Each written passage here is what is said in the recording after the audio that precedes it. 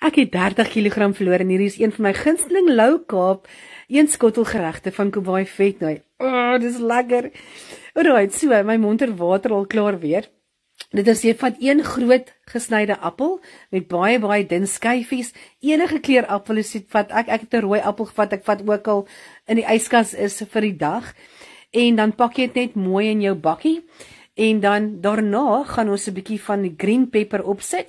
Ek vat so 'n groot green pepper en dan sny ek dit in fyn blokkies op. As jy hongerder is, ek smeer sit ek in want dit is so baie laag in die kalorieë. En dan daarna kan jy vir jou eie insit. Ek het nie vir my eie ingesit nou vir hierdie keer nie, maar jy kan wel eie insit.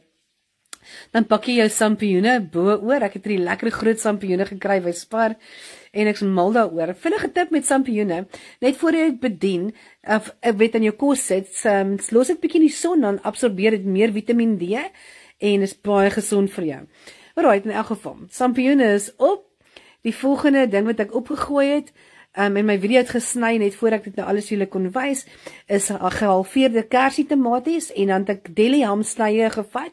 Sommige daai gewone ham wat mens by die deli kry wat ek daar ingesit het en een sakkie potato byt wat ek aangemaak het en met 'n bietjie melk en net hier oor gegooi het.